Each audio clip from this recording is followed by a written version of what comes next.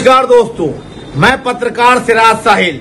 मैं देशवासियों से ये कहना चाहता हूँ कि हमारा देश आज़ादी का अमृत महोत्सव मना रहा है।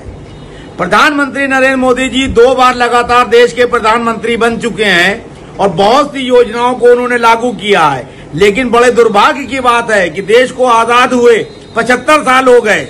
गुलजारी लाल नंदा जी और लाल बहादुर शास्त्री को अगर छोड़ दिया जाए तो अब तक के सभी प्रधानमंत्रियों के कार्यकाल के दौरान किसी न किसी तरह के भ्रष्टाचार और घोटाले हुए हैं। हमारे देश के नेता ये क्या कर रहे हैं?